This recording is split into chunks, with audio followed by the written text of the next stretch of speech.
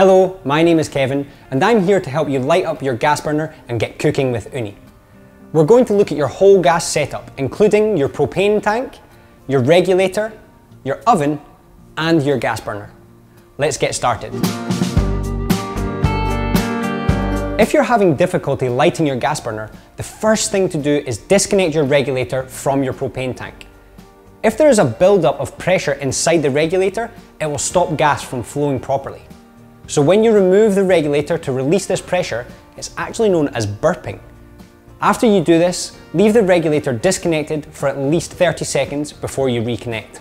Before you reconnect, make sure that the valve and the regulator are both clean and free from debris. Next up, we're going to look at your regulator and hose and check that the connections between the propane tank and your gas burner terminal are secure. You can use a leak detector spray here and tighten up if you need to. You want to make sure there are no kinks or bends in the hose. Now we'll look at your oven and your setup. Firstly, check that your gas burner is assembled the correct way. You want to see the logo facing upwards. For Ooni 3, we're going to work with the door off and the chimney cap on. For Ooni Pro, we're going to have the vents closed and use the pizza door.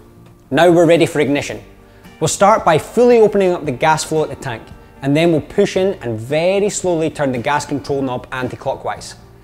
There will be a slight delay as the gas moves through the hose and so it's important that this takes 5 seconds from 12 o'clock to 9 o'clock. When you hear that click of ignition, keep pressing and holding the control knob for 5 more seconds before you release. Now if you can hear gas but you're missing that click of ignition, you can light your gas burner with a match in the supplied matchstick holder. The better you look after your gas burner, the better it will perform. So store it indoors when it's not in use, so you can protect it from the elements. Next up, we're going to look at the gas burner's piezo. The piezo is the ignition tip that provides the initial spark to light the gas. If there's no spark, the gas won't light. The piezo should be positioned as shown. If it has moved, you should be able to carefully move the piezo back into position so it is 3mm away from the flame output. This should now spark your gas burner into action. You'll always be around your oven when the gas burner is firing and it should run quietly, like this. If there's an issue with airflow, you might hear a louder sound, like this. If you do notice this, switch off your gas burner and wait 5 minutes before relighting. Remember, it is always the best step to cook in an area sheltered from wind. There we have it.